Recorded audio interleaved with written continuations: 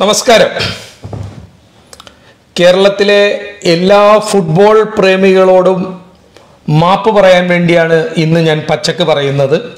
അതിനോടൊപ്പം sports council കേരളത്തിന്റെ sports ഒക്കെ കൊണ്ട് നടക്കുന്ന ഗെയിംസ് ഒക്കെ കൊണ്ട് നടക്കുന്ന കായിക രംഗത്തെ പ്രമുഖർ കായിക രംഗത്തെ മന്ത്രിമാർ എം എൽ എമാർ അവരോട് ഒരു കോപ്പ് പറയാനും കൂടിയാണ് ഞാൻ ഇന്ന് പച്ചക്ക് പറയുന്നത്. ഒരിക്കൽ കൂടി പറയുന്നു. കേരളത്തിലെ മുഴുവൻ ഫുട്ബോൾ കളിക്കാരോടും ഫുട്ബോൾ പ്രേമികളോടും മാപ്പ്. പ്രത്യേകിച്ചും കുഞ്ഞുകുട്ടികളോട് മാപ്പ്. എന്നാൽ കേരളത്തിലെ കായിക മന്ത്രി അടക്കം സ്പോർട്സ് കൗൺസിലുള്ള ഉള്ളവരോടക്കം ഒരു കോപ്പുമില്ല നിങ്ങളോടൊന്നും ഒരു ദയയില്ല നിങ്ങളോടൊന്നും ഒരു സ്നേഹവും ഇല്ല കാരണം നമ്മളൊന്നും ഇത്രയും ജനസംഖ്യ ഉണ്ടെങ്കിലും വേൾഡ് കപ്പിൽ ഒന്നും വരാൻ പോകണില്ല വല്ല മോഷണം. സ്വർണക്കടത്ത് മയക്കുമരുന്ന് കഞ്ചാവ് കുതികാൽ വെട്ടൽ രാഷ്ട്രീയ കൊലപാതകം അമ്പത്തൊന്ന് വെട്ട് പരദൂഷണം പറയുക അങ്ങടും ഇങ്ങടും തെറി പറയുക. അതിന് വേണമെങ്കിൽ വേൾഡിൽ ഒരു മത്സരം വെച്ചാൽ കേരളത്തിൽ നിന്ന് കിട്ടും അതും കേരളത്തിലെ രാഷ്ട്രീയ പാർട്ടിക്ക് കിട്ടും.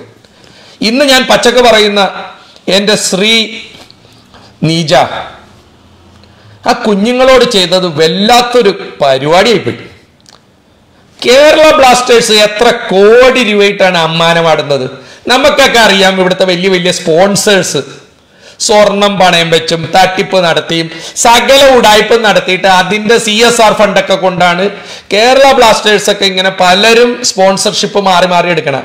അവരുടെ നക്കാപ്പിച്ച വാടക കിട്ടാത്തത് കൊണ്ടൊന്നുമല്ല താങ്കൾ ഇന്ന് എറണാകുളത്ത് കേരളത്തിന്റെ വിവിധ ഭാഗങ്ങളിൽ നിന്നും കൊച്ചു കുട്ടികൾ പന്ത് കളിക്കാനും സെലക്ഷനും വേണ്ടി വന്നപ്പോൾ അവരുടെ മാതാപിതാക്കളോടൊപ്പം കാസർഗോഡ് നിന്നും കോഴിക്കോടും വയനാടും കണ്ണൂരും തിരുവനന്തപുരത്തും കൊല്ലത്തുനിന്നും എല്ലാം തന്നെ കേരളത്തിന്റെ വിവിധ ഭാഗങ്ങളിൽ നിന്നും നമ്മുടെ കൊച്ചു കുട്ടികൾ പന്ത് കളിക്കാനും സെലക്ഷനും വേണ്ടി ഈ കൊച്ചി പട്ടണത്തിൽ വന്നപ്പോൾ ഏഴ് മണിക്ക് അവർക്ക് തുടങ്ങേണ്ട സെലക്ഷനും ട്രെയിനിങ്ങും എല്ലാം പത്തര പതിനൊന്ന് മണിയായപ്പോഴും ഒരു എം എൽ എ ശ്രീനിജൻ എന്ന് പറഞ്ഞ ആളുടെ വാശിക്ക് മുന്നിൽ അഹങ്കാരത്തിന്റെ മുന്നിൽ താനാണ് മറ്റേ അവിടുത്തെ ആളെന്നുള്ള രീതിയിൽ ആ പിള്ളേരോട് കാണിച്ചതിന് തന്നെ ദൈവം പോലും വെറുതെ വിടില്ല.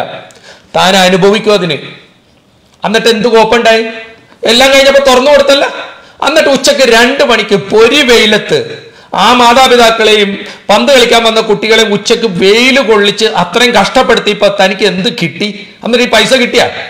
അതുമല്ല ഒരു കാര്യം പറയണത് കേരള ബ്ലാസ്റ്റേഴ്സ് പൈസ സർക്കാരിന് തന്നില്ല. അതിന് കുട്ടികളെ ദ്രോഹിച്ചിട്ടാണ് പൈസ മേടിക്കണം. കേരളത്തിൽ എന്തോരം പൈസയൊക്കെ എവിടെ കിട്ടാനുണ്ട് എന്തോരം കട്ടുകൊണ്ട് കൊണ്ട്. നിങ്ങൾ കെ വെച്ച് എന്ത് തുടങ്ങിയാലും കക്കുന്ന ഒരു സർക്കാർ. കെ വെച്ച് എന്ത് ചെയ്താലും ഒരു കലുങ്ക് പണിതാലും ഒരു കടലക്കറി ഉണ്ടാക്കിയാലും ഒരു കടത്ത് വഞ്ചിയിട്ടാലും കെ എന്ന് പേരുണ്ടോ? അവിടെ നിന്ന് ഉരുളക്കിഴങ്ങ് സൊസൈറ്റി അടക്കം സകല രാഷ്ട്രീയ സ്വാധീനമുള്ളവരും കട്ട് തിന്നുന്ന ഈ കാലഘട്ടത്തിൽ ഈ നക്കാപ്പിച്ച പൈസക്ക് വേണ്ടിയാണ് താൻ ഈ ശ്രീനിജ ഇത് പൂട്ടിയിട്ടത്. താൻ ഒരു വക്കീലല്ലേ ഒരു അഭിഭാഷകനല്ലേ? തനിക്ക് സ്പോർട്സിന് ഒന്നാമത് ഇതിനു മുമ്പും സ്പോർട്സ് കൗൺസിൽ ഉണ്ടായിട്ട് അവിടെ രണ്ട് പശുവിനെ വരെ അടിച്ചുകൊണ്ട് പോയ കഥ മനോരമയിലുണ്ട്. മലയാള മനോരമ വാർത്ത ചെയ്തിരുന്നു. ഇതിനു മുമ്പ് സ്പോർട്സ് കൗൺസിലിൽ തലപ്പത്തിരുന്നേച്ച കുറെ കഴിവേറി മക്കൾ എന്തൊക്കെയാണ് കട്ടുകൊണ്ട് പോയെന്നറിയോ സത്യം പറഞ്ഞാൽ ഇവിടുത്തെ പിള്ളേരുടെ സ്പോർട്സിന്റെ വാസനകളെല്ലാം കളയുന്നത് ഇത്തരം മേഖലകൾ ഇപ്പൊ തന്നെ ക്രിക്കറ്റിനാണെങ്കിലും ഒരു കുരങ്ങച്ചനെ എടുത്തിട്ടുണ്ട്. ഏ?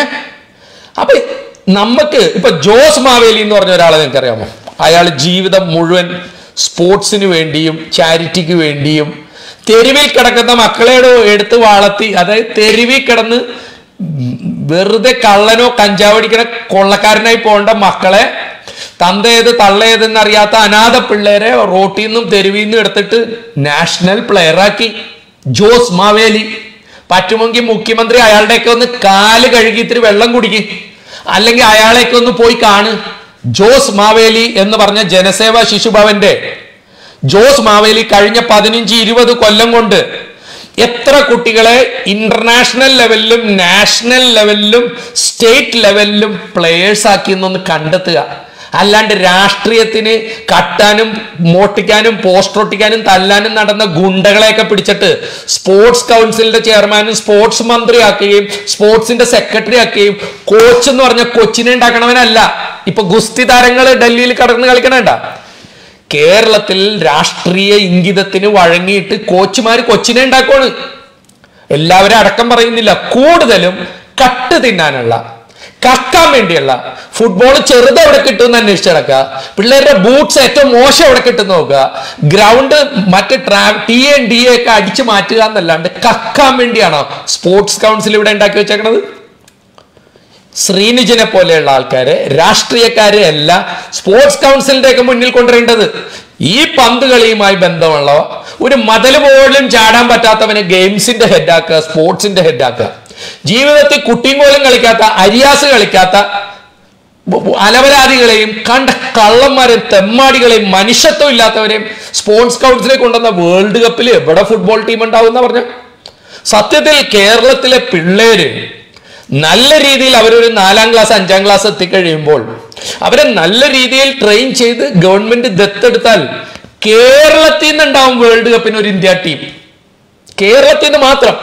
കാരണം ഫുട്ബോളിന് കണ്ണൂരും കോഴിക്കോടും കാസർഗോഡും ഉള്ള അത്രയും നല്ല മിടുക്കന്മാരായ പിള്ളേരുണ്ട്. അവർക്ക് നല്ല പോഷകാഹാരം കൊടുക്കുക. അവർ പന്തുകളിയുമായിട്ട് പോകുമ്പോൾ അവർ പഠിത്തത്തിൽ കുറച്ച് ശ്രദ്ധ കുറവ് അവർക്ക് നല്ലൊരു ജോലി കൊടുക്കുക. അവർക്ക് വേണ്ടത്ര റെസ്റ്റ് കൊടുക്കുക. അവരുടെ പോഷകാഹാരവും ഇന്റർനാഷണൽ ലെവലിൽ ട്രെയിനിങ്ങും ഇന്റർനാഷണൽ ലെവലിൽ മത്സരങ്ങൾ നടത്താൻ ഇന്ത്യക്കോ കേരളത്തിനോ പൈസ ഇല്ലാഞ്ഞിട്ടല്ല.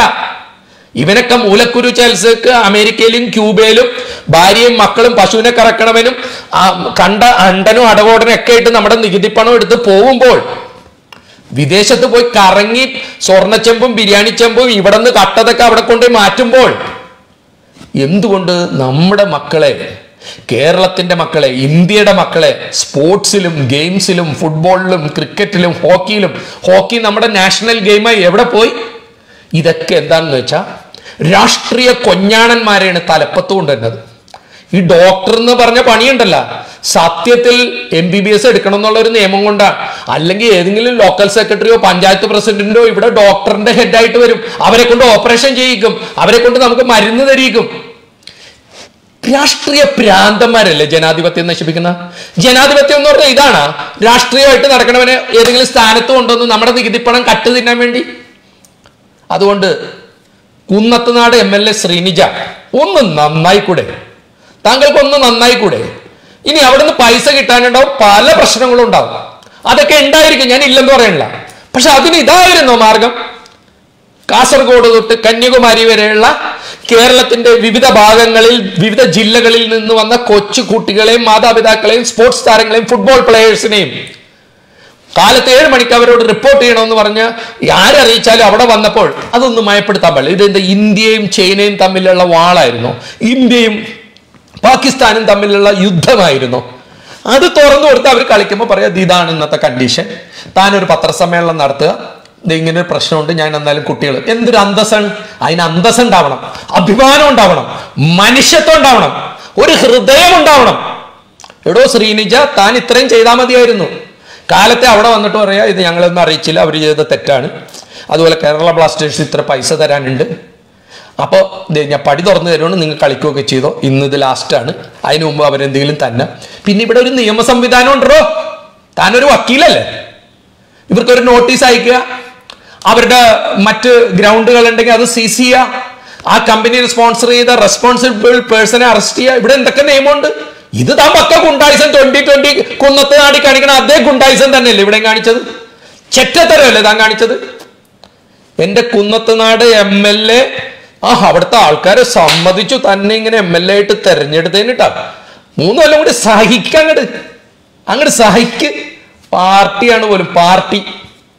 ഞാൻ ഇപ്പോഴും ചോദിക്കുന്നു Kunnathunad M L A Sreenijin എന്തൊക്കെയോ ഭാഗ്യം കൊണ്ട് ജയിച്ചു വന്നിട്ട് താങ്കൾ സ്പോർട്സ് കൗൺസിൽ ഹെഡായിട്ടിരിക്കണ് അവിടെ എന്ത് പ്രശ്നമുണ്ടെങ്കിലും ഈ അമ്മമാരും കുട്ടികളും എന്ത് തെറ്റാടോ തന്നോട് ചെയ്ത് കേരളത്തോട് അവരെന്ത് തെറ്റാ ചെയ്തത്? ഇവിടുത്തെ സ്പോർട്സ് കൗൺസിലിനോട് ആ കുഞ്ഞു കുട്ടികൾ പത്തും പന്ത്രണ്ടും പതിനഞ്ചും പതിനേഴും വയസ്സുള്ള കുട്ടികൾ കേരളത്തിന്റെ വിവിധ ഭാഗങ്ങളിൽ നിന്നും കേരള ബ്ലാസ്റ്റേഴ്സ് എന്നുള്ള ടീം സെലക്ഷനും ട്രെയിനിങ്ങിനും വേണ്ടി വന്ന കുട്ടികൾ തന്നോടും തന്റെ പാർട്ടിനോടും മറ്റ് രാഷ്ട്രീയ പാർട്ടിനോടും തന്റെ സംഘടനയോടും തന്നോടും എന്ത് തെറ്റാ ചെയ്തത്? ഇതിന്റെ ഒന്നും പ്രാക്കണ്ടല്ല. ഇതിന്റെയൊക്കെ പ്രാക്ക് എന്ന് പറഞ്ഞാൽ മരുന്നിൽ തീരില്ല. ആലോചിച്ചു താനാണ് ഒരു കൊച്ചുകുട്ടിയായിട്ട് ആ ഗ്രൗണ്ടിന്റെ അവിടെ വന്നെങ്കിൽ? താൻ എന്ത് പറയും? അവർക്ക് ഈ വാടകയും തന്റെ എം എൽ എയുടെ തന്റെ ഇടവും സ്പോർട്സ് കൗൺസിലിന്റെ മറ്റേ രാജാവാണെന്നൊക്കെ പറഞ്ഞാൽ അവർക്ക് അത് പറ്റുമോ? അതേ സ്ഥാനത്ത് തനിക്കൊരു മനുഷ്യത്വം ഉണ്ടെങ്കിൽ താൻ നല്ലൊരു ജനപ്രതിനിധിയാണെങ്കിൽ തനിക്ക് സ്പോർട്സുമായി ബന്ധമുണ്ടെങ്കിൽ നാടിനോട് സ്നേഹമുണ്ടെങ്കിൽ മക്കളോട് സ്നേഹമുണ്ടെങ്കിൽ കൊച്ചു കുട്ടികളോട് സ്നേഹമുണ്ടെങ്കിൽ താൻ എന്തായിരുന്നു ചെയ്യേണ്ടത്? അവിടെ വരണമായിരുന്നു. തന്റെ വീടിന്റെ തൊട്ടടുത്തല്ലേ ഈ പരമ്പലയാറിലുള്ള ഗ്രൗണ്ട് അല്ലാണ്ട് വിമാനം പിടിച്ച് ക്യൂബയിലും അമേരിക്കയിലൊന്നും പോകണ്ടല്ല. ദുബായിലും പോകണ്ടല്ല. തനിക്ക് ഈ ഗ്രൗണ്ടിന്റെ അവിടെ വന്നിട്ട് പത്രക്കാരെയും മറ്റു ബന്ധപ്പെട്ടവരെയൊക്കെ വിളിച്ചിട്ട് "ദേ ഇങ്ങനെ ഒരു പ്രശ്നമുണ്ട്. പക്ഷെ കുട്ടികൾ വന്നേക്കൊണ്ട് ഞാൻ തുറന്നു തരുന്നു നിങ്ങൾ കളിച്ചോ? കുറച്ച് നേരം പന്ത് കളിച്ചാൽ അവിടുത്തെ പുല്ലൊന്നും തന്റെ അണ്ണാക്കിലോട്ട് പോകില്ലല്ലോ ഓ അപ്പൊ താൻ ഇന്ന് ചെയ്തത് തന്റെ അഹങ്കാരത്തിന്റെ എം എൽ എ എന്ന തന്റെ ഇടത്തിന്റെ തന്റെ കയ്യിൽ പൈസ ഉണ്ടെന്നുള്ള ഹുങ്കിന്റെ താൻ സ്പോർട്സ് കൗൺസിലിന്റെ കോപ്പാണെന്നുള്ള അധികാരത്തിന്റെ വെച്ചിട്ട് ചെയ്ത പരിപാടി ആ കുഞ്ഞുങ്ങളോടായിപ്പോയി.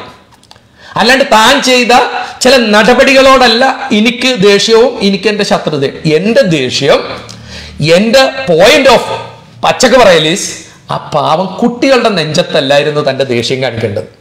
എന്നിട്ട് എന്തുണ്ടായി അതൊരു ഉച്ചയപ്പോഴേക്കും തുറന്നു കൊടുത്ത് രണ്ട് രണ്ടര മണിക്ക് പൊരിഞ്ഞ വെയിലത്ത് ആ കുട്ടികൾ കളിച്ച്.